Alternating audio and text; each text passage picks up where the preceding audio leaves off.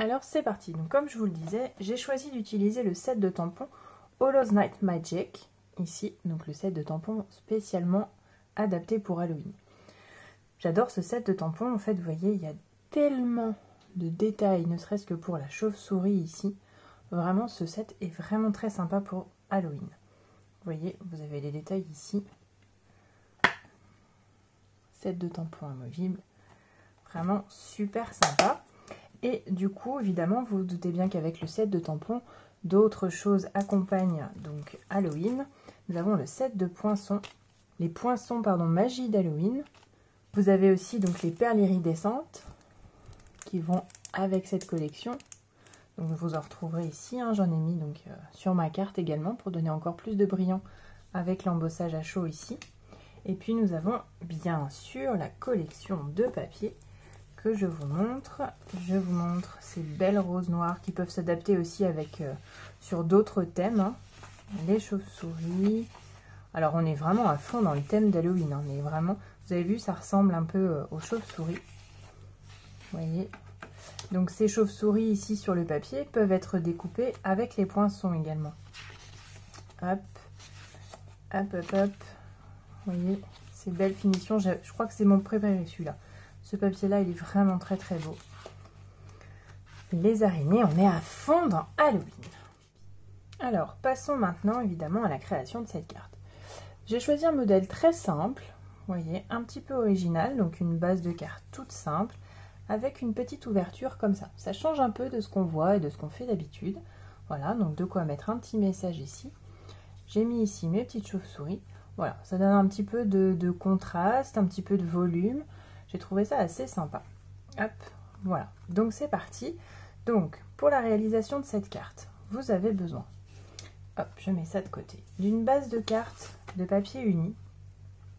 Donc ici, celui-ci fait 14 cm par 10,7. Un morceau de papier design de 13,3 par 10,2. Donc je vais venir le coller ici. Pour faire le rabat ici, il vous faut un morceau de papier uni qui mesure 21,6 par 7,6 et on va venir marquer un pli ici à 10,7 une fois que ce morceau sera plié on va avoir besoin donc de venir décorer. Donc ici j'ai pris un morceau de murmure blanc qui mesure 10,5 par 7,3 que je vais positionner donc sur mon rabat un morceau de papier design qui va venir se mettre sur le murmure blanc qui mesure lui 10,2 par 7 cm. Vous allez voir c'est vraiment très très simple à réaliser.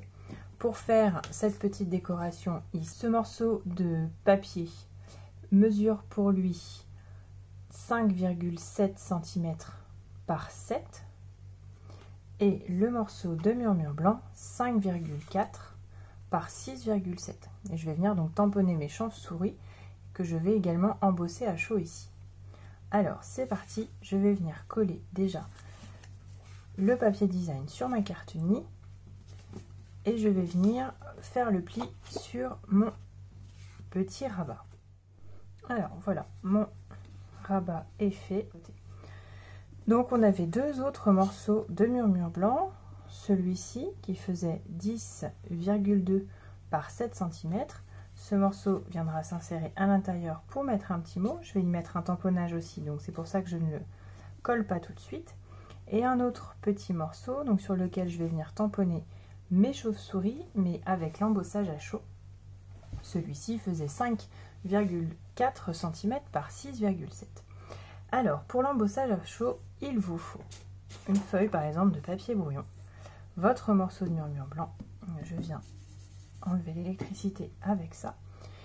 Il vous faut de la Versamark, donc l'encre transparente qui va pouvoir recevoir la poudre. Vos tampons, donc là j'ai pris donc nos fameuses chauves-souris et j'ai pris donc euh, ma poudre miroitante noire qui me restait, qui brille énormément. Donc ça, hop, je l'ouvre, je la prépare comme ceci. Je m'assure ici de n'ancrer que la première grosse chauve-souris.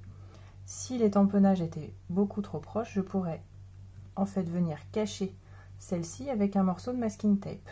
Voilà. Ici, c'est bon, il y a assez d'espace. Donc, pas la peine de venir en mettre. Je viens tamponner ma chauve-souris sur mon morceau de murmure blanc. Comme ceci. Voilà. Hop. Donc, vous voyez, ça fait transparent. On voit rien pour l'instant.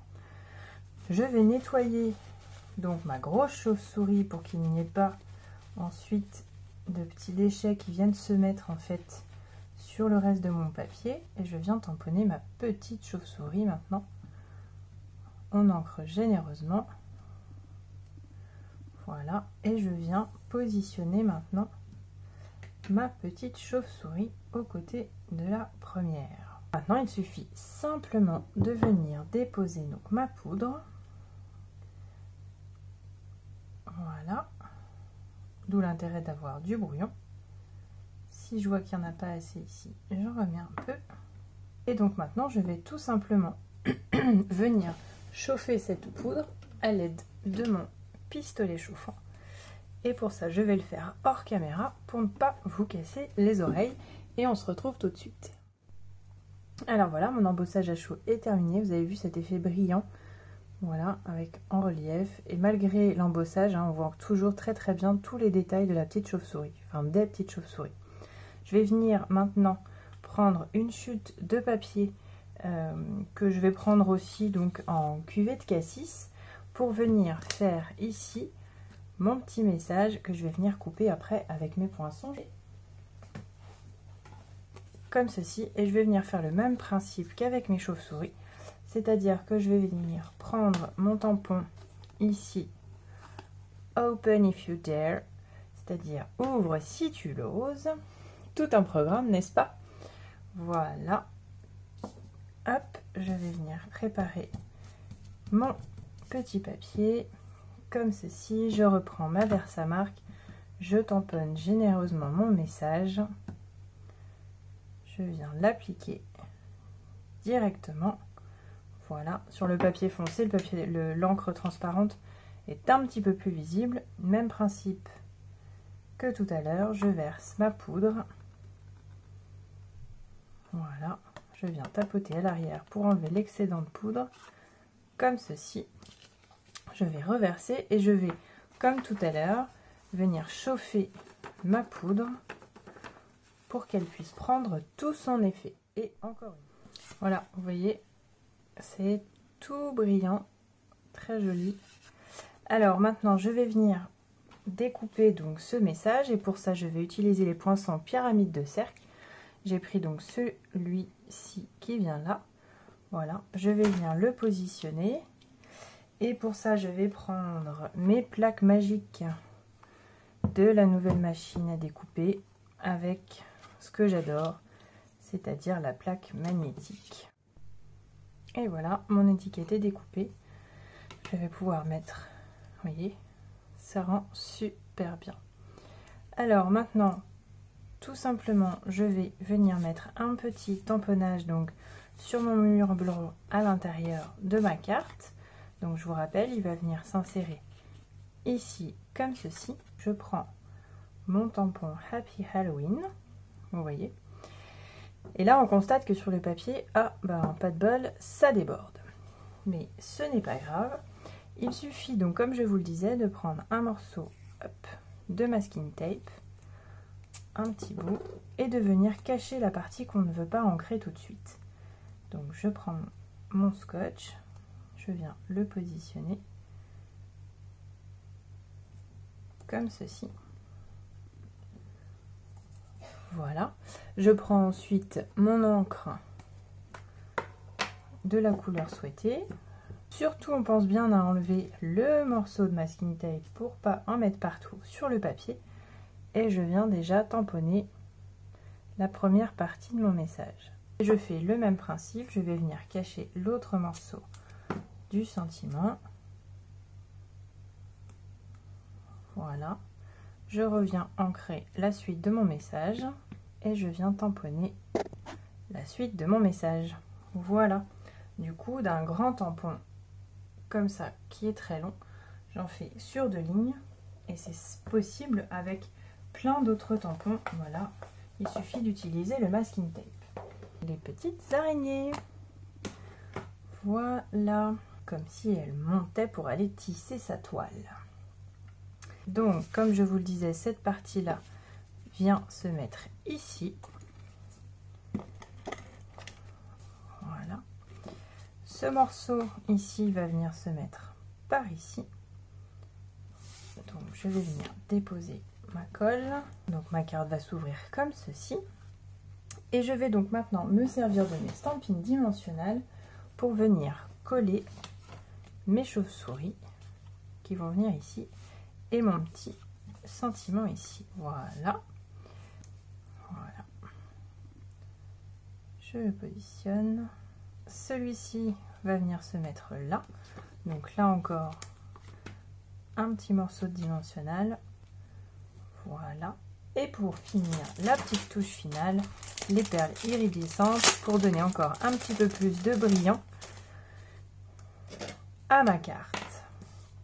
Vous avez vu sont très très jolies. Et eh bien voilà nos deux cartes Halloween, réalisées donc avec le set de tampons Hallow's Night Magic pour ce, cette super journée du marathon de la carterie. Voilà, j'espère que cette vidéo vous a plu. N'hésitez pas à la partager, à liker, à vous abonner et surtout, je vous invite à rejoindre la prochaine vidéo pour ce marathon de la carterie, vous avez le lien dans la barre d'infos. Bye bye